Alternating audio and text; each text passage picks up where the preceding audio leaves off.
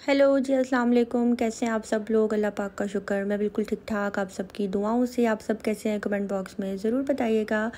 आप सब जहाँ कहीं भी हैं, खैर खैरियत से रहें। कोई भी गम, परेशानी, बुरा वक्त आप तक ना पहुँच सके। आमीन सुमा आमीन।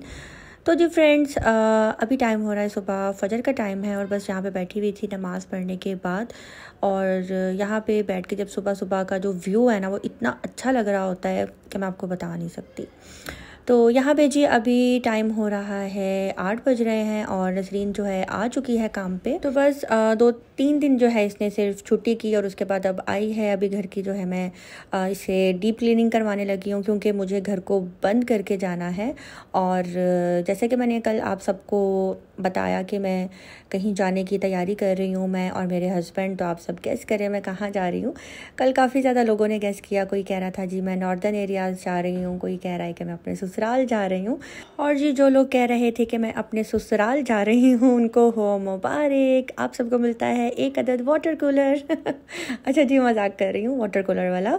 जी हाँ बिल्कुल, मैं अपने ससुराल जा रही हूँ और मैं टू में लास्ट टाइम जनवरी में अपने ससुराल आई थी और अब मैं दोबारा खैर से अपने ससुराल जा रही हूँ। और बीच में हमारा कई दफ़ा प्लान बना और ज़्यादा मैं फोर्स करती थी कि जईम चलते हैं छुट्टियाँ लो, लेकिन जईम की जॉब का इतना ज़्यादा इशू होता था जईम की जॉब इस तरह की है कि बहुत ज़्यादा मुश्किल हो जाता है निकलना। और पहले हमारा छोटी ईद पे हुआ तो फिर अम्मी अबू आ गए, फिर हमारा बड़ी ईद पे हुआ तो फिर हमें अचानक से ख्याल आया कि उप हमने तो कुर्बानी करनी थी तो फिर भी हमारा रह गया। तो दो तीन दफ़ा हमारा प्लान बनकर जो है हैदराबाद का बीच में यानी कि ठुस हो गया। तो बस जॉब को लेकर भी साथ साथ चलना होता है और बस फिर अम्मी अबू भी आ गए थे तो तैम ने कहा कि मेन तो अम्मी अबू को ही मिलना होता है ना तो बस अम्मी अबू आ गए, उनसे मिल लिया, यही बात है। तो यहाँ पे जी घर की सफ़ाई भी हो गई थी और डीप क्लीनिंग मैं इसलिए करवा रही थी कि घर जो है बंद करके जाना है और फिर आपको पता है कितने दिन बंद रहता है घर। वैसे तो मैं चाबी अपने घर वालों को देकर जाऊँगी, पीछे भाई, मम्मा लोग जो हैं चक्कर लगा लिया करेंगे। फ्रिज को फुल क्लीन मैंने किया, जितना भी एक्स्ट्रा उसके अंदर खाना पीना था। वो मैंने आ, मतलब कि मैं आ, जो जितनी चीज़ें थी ना खाने पी, खाने पीने वाली उनको मैंने ख़त्म किया और जो फ्रीज़र में रखने वाली थी उनको मैंने फ्रीज़र में रखा और जो मसाले वगैरह बॉक्सेस में ऑलरेडी मौजूद थे उनको मैंने फ्रिज में रख दिया। दालें चने ये सारी चीज़ें मैं अपने फ्रिज में रख कर आई हूँ। फ्रिज मैंने बंद नहीं की।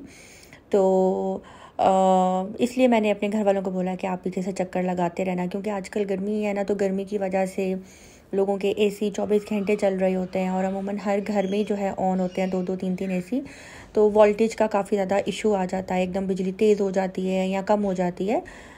तो इसलिए उनको मैंने कहा था कि आपने पीछे चक्कर लगाते रहना है और आज खाने की कुछ समझ नहीं आ रही थी तो सोचा कि जी बना लेते हैं आलू मटर का सालन।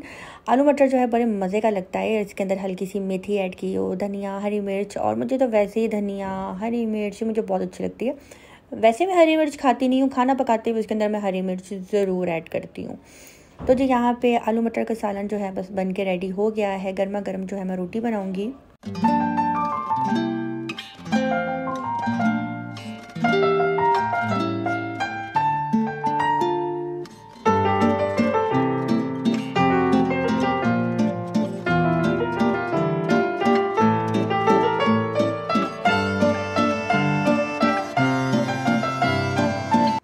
और जी बस यहाँ पे गर्मा गर्म रोटी और साथ में आलू मटर का सालन। इसका क्या कम्बिनेशन है? आह, हा हा हा किस किस को आलू मटर पसंद है? कमेंट बॉक्स में बताइएगा।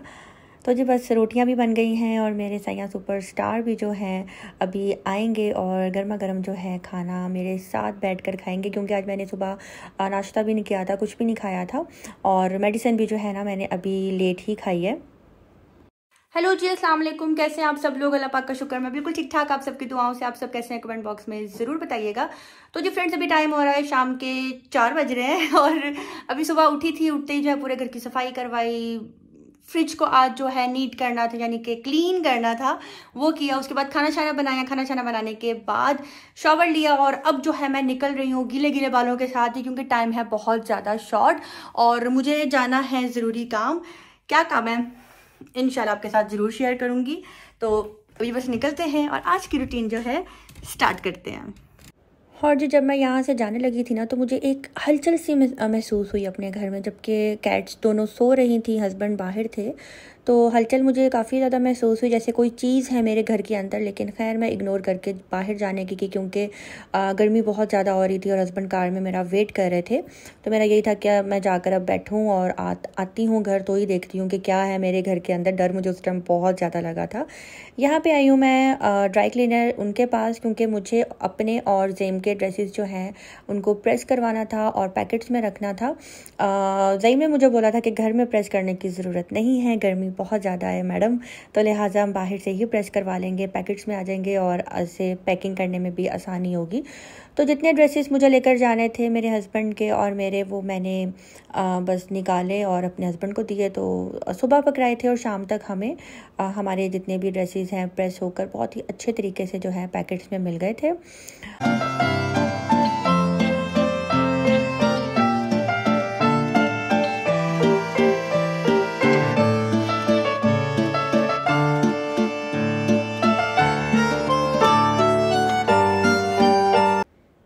और जी आ, कपड़े लेने के बाद अभी हम आए हैं बहरिया टाउन सफारी मॉल और यहाँ से हमें कुछ छोटी छोटी चीज़ें लेनी थी और लास्ट टाइम जब मैंने अपनी भाभी का जो मेकअप मैंने जहाँ से लिया था तो काफ़ी लोग पूछ रहे थे कि आपने मेकअप कहाँ से लिया है हमें प्लीज़ बता दें।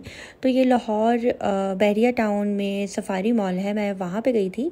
इनके पास हर तरह का ब्रांड का मेकअप जो है मौजूद होता है और सबसे बड़ी बात यहाँ की जो स्टाफ हैं, लड़कियाँ, वो बहुत अच्छी हैं, बहुत ज़्यादा जो है ना वो अच्छा गाइड करती हैं और मेकअप लेने में जो है ना ज़्यादा प्रॉब्लम भी नहीं होती। और इजीली जो है ना, हमें जो चीज़ चाहिए होती है बस बता दें और सामने हमारे पास हर तरह के ब्रांड और विद प्राइस बता देती हैं कि भाई ये इस ब्रांड की है, इसके इतने प्राइस हैं, ये इस ब्रांड की हैं तो अच्छा गाइड करती हैं। तो इसलिए मैं आपको बता रही हूँ, बहुत ज़्यादा कमेंट आए थे इसलिए। तो जी बस यहाँ पे हमने जो शॉपिंग करनी थी हमारी वो शॉपिंग जो है हो गई है। और अभी बस जल्दी जल्दी जो है ना आज सारे काम हो रहे थे वरना हम जब भी कभी बाहर निकलते हैं ना बड़ी तसली से शॉपिंग करते हैं। वालेकुम अस्सलाम क्या मैं ठीक तुम बताओ क्या हाल है?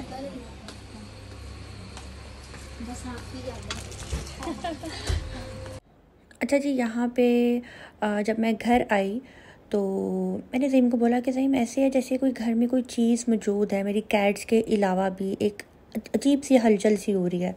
तो जहीम ने कहा मुझे डराओ नहीं, ये तो वो तुम्हें वहम है। मैंने कहा, नहीं जहीम, आज मैंने डीप क्लीनिंग करवाई है घर की, लेकिन घर के अंदर कोई चीज़ है जो आवाज़ कर रही है और मुझे फ़ील हो रहा है जैसे कुछ और भी है यहाँ पे। तो हुआ कुछ यूँ कि बुब्बू जो है ना ये जो आप स्टूल देख रहे हैं ना बुब्बू स्टूल के ऊपर लेट के ना मैं इन स्टूल के पीछे ना एक डस्टबिन है जो कि बिल्कुल न्यू ब्रांड है वो बिल्कुल भी आज तक यूज़ नहीं हुई। जो मेरा टिश्यू पेपर बॉक्स है गोल्डन कलर का उसके साथ मैंने ली थी। तो वो बिल्कुल आ, मतलब कि उसके अंदर कुछ भी नहीं होता। तो उसके अंदर जो है ना देख रहा था मैं बुब्बू को जब देखने के लिए जाऊँ तो बुब्बू मेरे यानी कि मेरी आवाज़ से एकदम ना डर जाता था और भाग जाता था। तो मैंने जब गौर किया तो डस्टबिन के अंदर ये चमकादर थी। अब ये चमकादर कहाँ से आई? शायद मेरे जो बाहर डोर ओपन होता है, बैक साइड वाला, वहाँ से आई और बुब्बू को शुक्र अल्लाह का इसने काटा नहीं। देखे किस तरह से मुँह खोल रही है और ये बच्चा ही था चमकादर का। इसको बिल्कुल भी उड़ना नहीं आ रहा था अभी।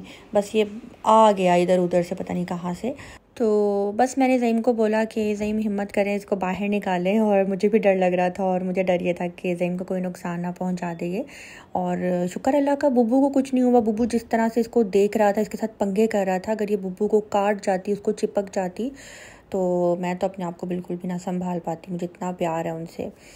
जईम ने इसके ऊपर कपड़ा डाला वैक्यूम क्लीनर के ऊपर, क्योंकि उसके ऊपर चिपक गई हुई थी। फिर वो जईम बाहर लेकर आए और फिर जईम ने जब इसको डंडे से ऐसे उतारा तो ये मुँह खोल के ना जईम की तरफ़ देख रही थी।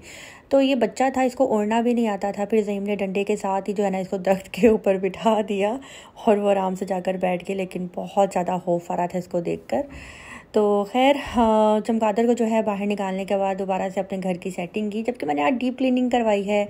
आ, उसके बाद आया है फिर ये बाहर अंदर घर में ऐसा कुछ भी नहीं था।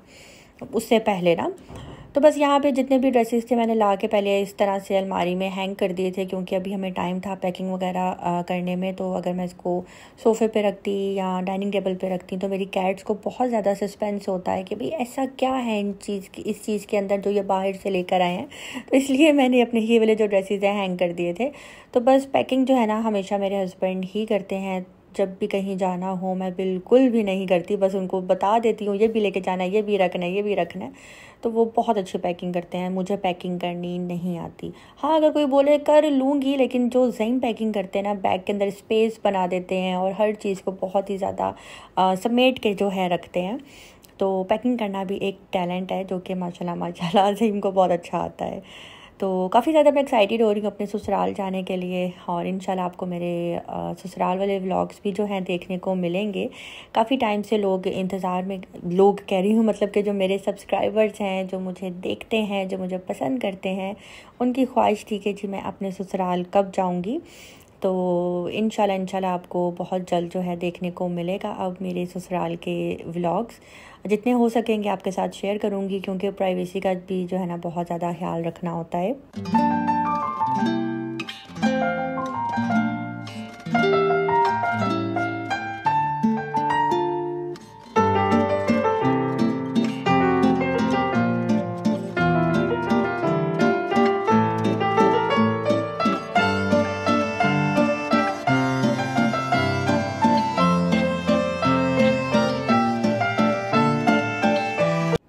जी बस यहाँ पे हमारी पैकिंग जो है, हो गई है और आज का जो मेरा व्लॉग है, यहीं पे दी एंड होता है।